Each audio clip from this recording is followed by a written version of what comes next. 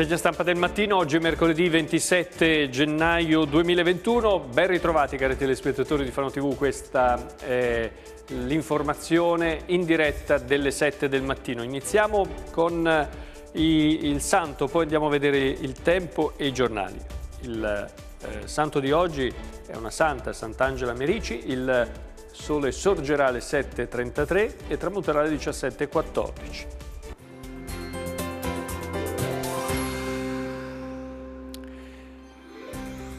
Bollettino della Protezione Civile delle Marche. Per oggi cielo sereno con transito di nuvole medio-alte nel tardo pomeriggio, temperature in diminuzione quelle della notte, in lieve aumento le massime, avremo ancora gelate estese nella notte e al primo mattino, quindi attenzione anche oggi. Giovedì, domani, ancora cielo sereno poco nuvoloso, con eh, temperature in aumento, quelle massime, ancora eh, gelate in nottata al primo oh, mattino, mentre per la giornata di venerdì avremo un cambio di, con precipitazioni deboli eh, nelle ore pomeridiane, prima in montagna e poi eh, verso la costa, ancora un po' di vento fino a burrasca nelle zone di collina e montagna, eh, venti che soffieranno da sud. Probabile tempo instabile anche per sabato e in particolare nella giornata di domenica. Poi il tempo migliorerà invece la prossima settimana, lunedì. Allora andiamo subito a vedere i giornali, cominciamo dal Corriere Adriatico, edizione di Pesaro, test, tocca a voi studenti, l'appello del sindaco di Pesaro Ricci per partecipare allo screening che inizierà domani in sette istituti, personale, logistica e forniture pronte, determinante raccogliere le adesioni di ragazzi e prof. Bocciodromo, le prime offerte, nuovo impianto, si parte con i servizi. L'intervista a Gianluca Gregori, rettore della Politecnica delle Marche, trova spazio in prima pagina qui di spalla, l'intervista Università da febbraio, la presenza sarà per eh, tutti. Incubo ghiaccio invece, strade trappola, caos incidenti in tutta la provincia pesarese. Morti sulle siligate, Orazietti non tirò il freno a mano, coca troppo pura e le due condanne sono più pesanti. Qui di taglio basso invece capitale della cultura con villaggio musicale. Il comune di Pesaro prepara un pacchetto contenitori ma spunta Ascoli come concorrente. E adesso il Carlino di Pesaro. Gli imbucati dei vaccini alla fotonotizia di oggi la denuncia, dosi agli amministrativi al posto dei sanitari. Riccia agli studenti, fate i tamponi, ma Saltamartini dice ci ripensi. Campionato di giornalismo, ecco i cronisti in classe, poi Covid, effetti collaterali, vietato partorire a Pesaro, al San Salvatore e 100 mamme vanno a Rimini.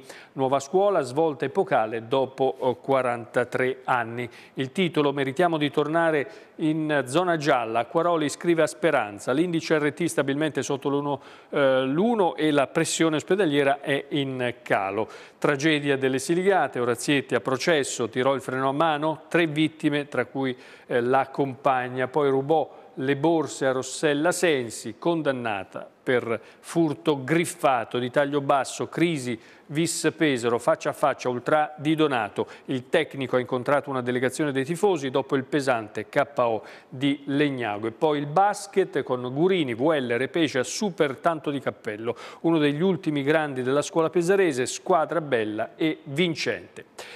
Allora, il ghiaccio, dicevamo, ieri mattina chi segue la rassegna stampa tutti i giorni esce di casa sempre informato, quindi sapeva benissimo il pericolo che eh, correva lungo le strade ieri mattina all'uscita, eh, soprattutto per chi segue la diretta eh, delle sette. Eh, ieri mattina, eh, complice anche la pioggia che poi è stata ghiacciata dalle basse temperature, le strade erano di fatto una lastra di ghiaccio. Tante le persone che sono finite a terra, biciclette, motorini, auto che sono finite fuori strada. I giornali questa mattina raccontano proprio questo.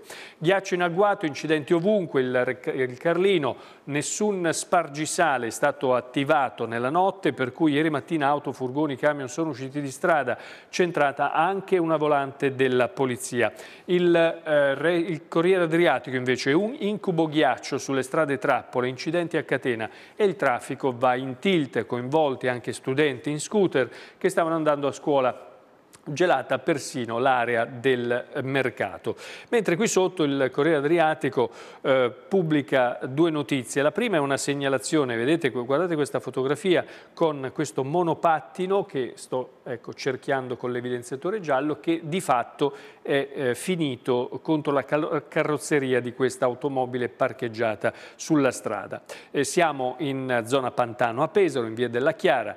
Eh, questo segnalatore dice, scrive, questo accade con i monopattini abbandonati in, luogo, in ogni luogo senza nessuna regola. Chi paga i danni perché questi veicoli possono girare senza regole o assicurazione? In effetti adesso il titolare di questa automobile, evidentemente eh, rovinata da, da, da, questo monopattino, dovrà pagarsela, eh, dovrà pagarsi dan i danni dal carrozziere eh, senza, eh, senza prendersela purtroppo con nessuno. Eh, invece l'altra notizia sempre sul Corriere di questa mattina, un cliente che entra eh, nel supermercato Lidl di eh, Torraccia, sempre a Pesaro, eh, senza mascherina, ehm, minaccia eh, il titolare che gli aveva detto giustamente di indossarla, eh, questo ha voluto continuare a rimanere dentro il supermercato senza indossarla e quindi è arrivata la polizia. Ma quando è arrivata la polizia questo se l'è filata a gambe. Eh, parliamo adesso invece della situazione Covid nelle Marche. Allora, i dati, quali sono i dati delle ultime ore? I eh, dati sono questi, li pubblica anche il Corriere. Discesa troppo lenta, la sfida al Covid ancora corre sul filo del rasoio. Il paragone con sei settimane fa inficiato dal raddoppio dei tamponi processati. La vera partita è negli ospedali dove però i numeri diminuiscono solo gradualmente. Meritiamo la zona gialla, dice invece Acquaroli che scrive al Ministro Speranza, lettera del Governatore, indice RT sotto 1 dal, eh, dal 15 di novembre, i ricoveri sono diminuiti, più posti letto nelle rianimazioni, dunque la virtù, dice Acquaroli, va eh, premiata. Intanto ancora tanti eh, casi di virus, 219, ma il trend è in eh, miglioramento.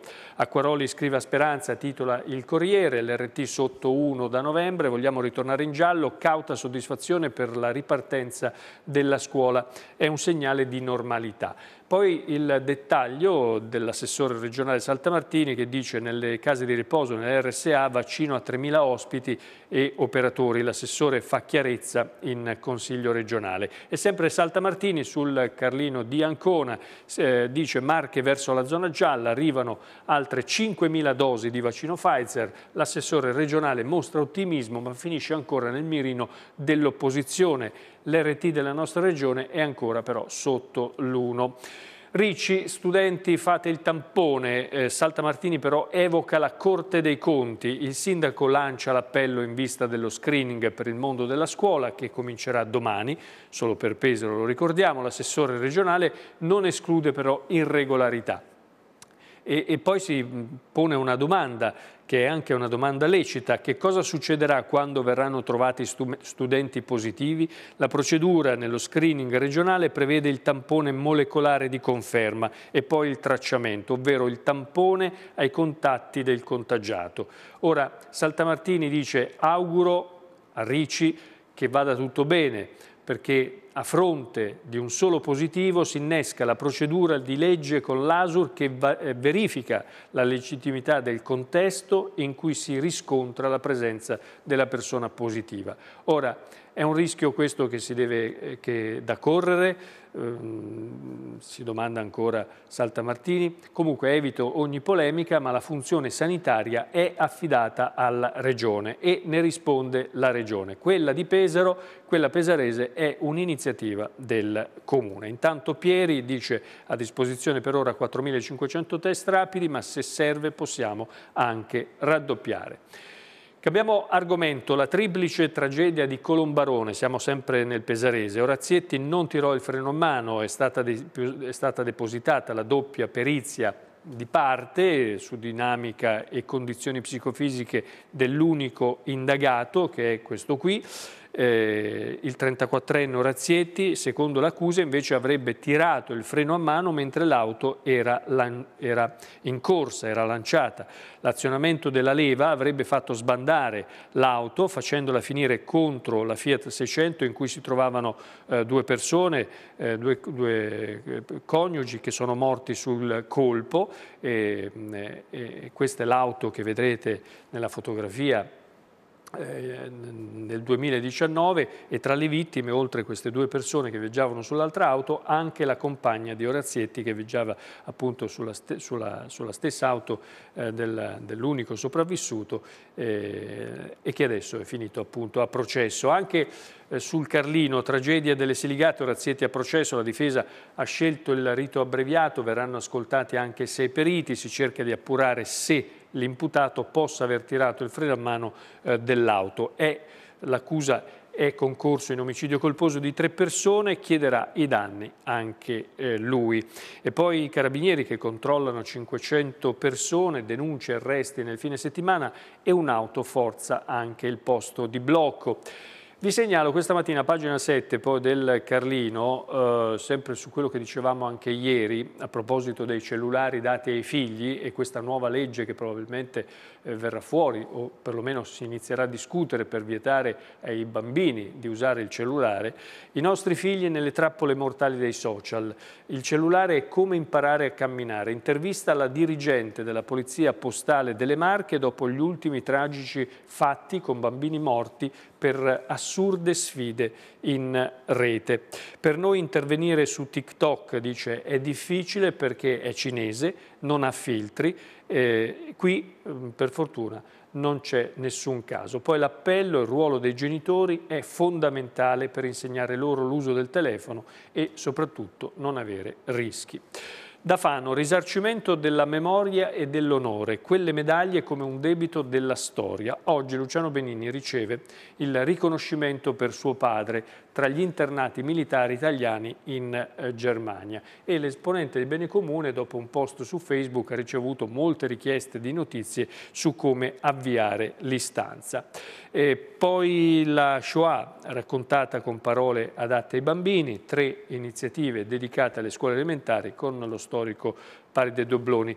Da Fano invece il Carlino, Seri ripesca Marchegiani, avrà deleghe per la cultura. All'ex assessore i due più importanti progetti della città, il Teatro Romano e la Fabbrica del Carnevale. Nessun problema, dice, con il sindaco eh, Marchegiani, semmai eh, se c'è un problema c'è con il Partito Democratico. La decisione sarà formalizzata nel prossimo Consiglio Comunale convocato per eh, domani. Eh, motopesca, sempre da Fano, eh, motopesca in barca acqua e poi affonda nel porto. Ancora da chiarire le cause della falla. La Capitaneria dice sversamento eh, confinato, le operazioni di recupero previste per questa mattina senza interferire con l'attività eh, ordinaria. E poi un'autocisterna che scivola sul ghiaccio e sbatte contro un'inferriata, è successo a Bellocchi di Fano ieri mattina, un auto articolato è andato a sbattere contro una cancellata per colpa del ghiaccio.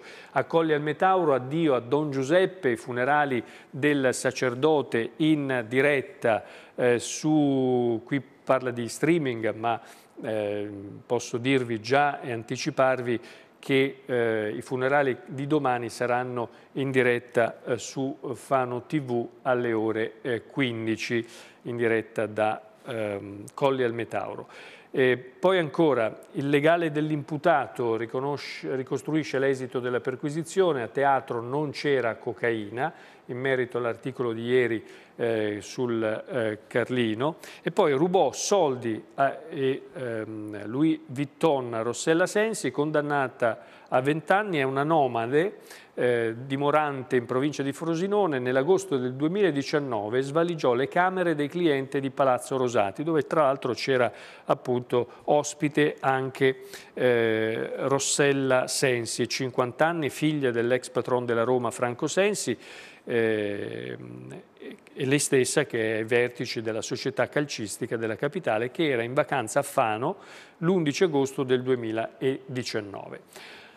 A Bellocchi, Bellocchi ben 76 sforamenti, l'inquinamento sottovalutato per la zona industriale il Movimento 5 Stelle segnala il raddoppio del limite di legge, rischi letali per la salute. Poi Lupus in Fabula che se la prende, ormai questo è un po' un disco rotto eh, con l'ASET per le potature eh, radicali alla rocca, alberi massacrati, l'Upus in Fabula accusa ASET di danneggiare il patrimonio verde, l'intervento non si deve eh, notare. Gli ambientalisti rilevano incongruenze tra contratto e prassi e interpellano eh, Brunori.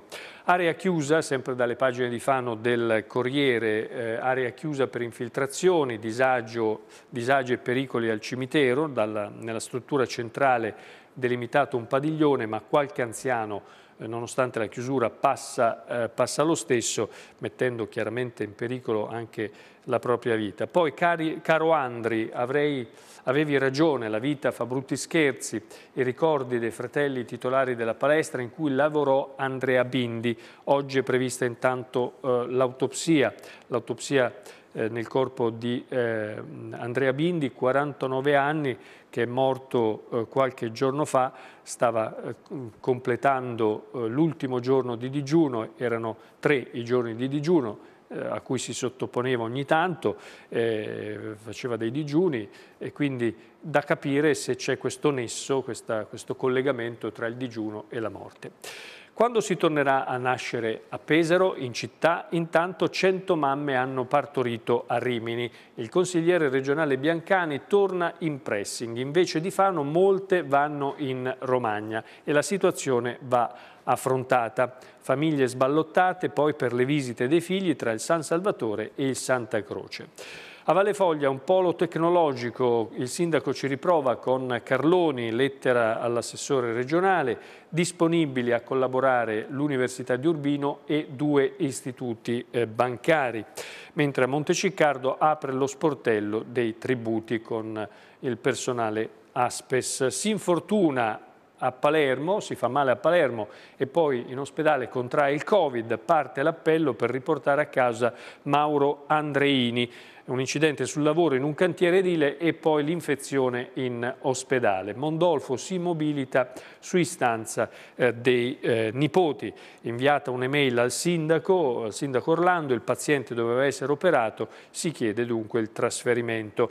Da San Lorenzo in campo, Fileni, ne abbiamo diritto ma rinunciamo al ricorso, l'azienda non procede al TAR per lo stabilimento avicolo visto il deciso no del comune e poi ancora da Urbino la buona notizia è che riapre cardiologia, è terminata la quarantena, i sanitari che erano finiti in isolamento possono finalmente rientrare, Magnoni dice si torna operativi senza aiuti dall'esterno. Situazione migliore anche nella zona eh, contumaciale dove ci sono due eh, contagiati, dice Elisabetta eh, Foschi che è assessore alla sanità del Comune di Urbino. Poi eh, sul Corriere, Callucio, eh, la discarica, ricorso inammissibile, i residenti pagheranno le spese. Soddisfazione del Presidente della provincia Paolini che dice noi abbiamo operato eh, correttamente e poi riapre a pieno regime il reparto di eh, cardiologia.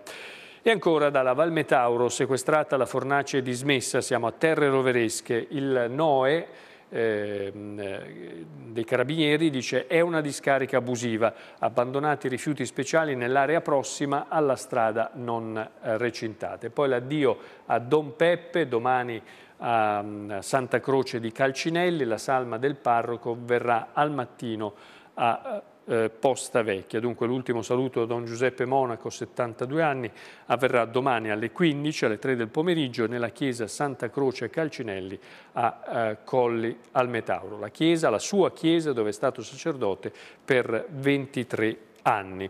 Adesso andiamo invece sulle pagine di Senigallia, Corriere Adriatico, Lungomare da Vinci, si usa anche la corsia che non c'è, gli automobilisti ignorano il senso unico, la pista ciclabile utilizzata per i sottopassi.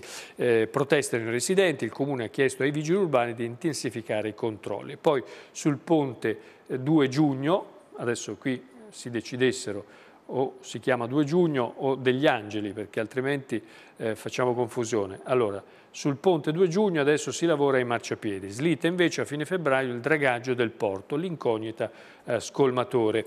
Sempre da Senigallia, Carlino, no al muro sulla ferrovia, le marche isolate, riunione della Commissione tra le regioni. L'assessore Aguzzi mantiene la posizione, ma gli altri avallano l'intesa con RFI per la realizzazione. Poi vandali e pirati della strada, sale la rabbia e caccia il pirata che ieri ha urtato un'auto in via della eh, Passera ed è scappato. Si tratta di un'auto bianca che viaggiava nella carreggiata opposta a quella dove c'era in transito una vettura rossa a cui l'urto ha provocato la rottura dello specchietto retrovisore. E Commissione Mensa, verso le nomine, il Presidente Bello annuncia i prossimi appuntamenti a partire dall'approvazione del bilancio. E sempre da Senigallia, però dal Corriere Adriatico, l'imprenditoria piange Rinaldi, una vita dedicata alla sua eh, torneria a Barbara, per errore, tra, inserito per errore tra i morti per Covid, il sindaco stroncato invece da complicazioni di altre eh, patologie. Questa è la fotografia di Franco Rinaldi, funerali del 63enne, oggi nella chiesa di Santa Maria Assunta. Mentre le onde danneggiano il bar, il titolare del Lady eh, serviranno almeno 3.000 euro per sistemare i blocchi di eh, protezione. Chiudiamo con questa notizia, visto che eh, ne abbiamo parlato già su, sul, nella nostra rassegna stampa qualche giorno fa. Attenti, ci rubano l'identità su Whatsapp, questo è un fatto che è realmente accaduto eh, in, questi, in questi giorni, in questi ultimi tempi, ci sono degli attacchi hacker, dove tra l'altro c'è un focolaio in Romagna e in trappola è finito anche un sindaco. La polizia dice non rispondete a messaggi che contengono link o codici. Ora, su questo bisogna fare veramente attenzione perché se no si finisce eh, nelle mani di criminali della rete che possono accedere alle nostre rubriche ma soprattutto ai dati sensibili, quindi ai dati anche dove ci sono per esempio le password per accedere al conto online della propria banca e quant'altro. Allora, eh, in sostanza, senza farlo troppo lunga perché poi se no rischiamo di, non, di fare confusione, se dovesse arrivarvi un messaggio che solitamente arriva da un contatto che voi conoscete, quindi può essere anche vostro figlio, vostra figlia, un, un messaggio dove però è un messaggio strano, dove ci sono dei link, dove eh, vi chiedono dei codici, eccetera, ecco, voi non rispondete, soprattutto non eh, non pigiate, non cliccate sul link e non inserite nessun codice. Ignorate completamente quel messaggio. Se è un messaggio strano che non vi garba, anche se fosse di un parente stretto, vostro padre, vostra madre, vostri figli, eh, qualcuno che conoscete, un, il vostro capo di lavoro, insomma, qualunque cosa dove c'è un link o un codice da inserire, un messaggio strano, cancellate tutto e fate finta di niente. Meglio di così non sono riuscito a dirvelo. Grazie per averci seguito. Stasera c'è il telegiornale Occhio alla Notizia, la rassegna torna invece domani mattina alle 7, come sempre, puntuali. Passate una buona giornata, arrivederci.